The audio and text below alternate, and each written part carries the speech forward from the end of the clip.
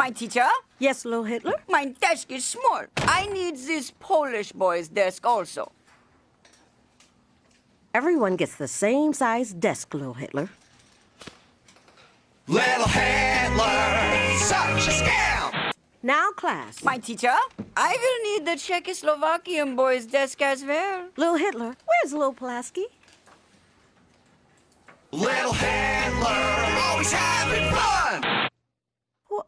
What's going on here? It's not my problem.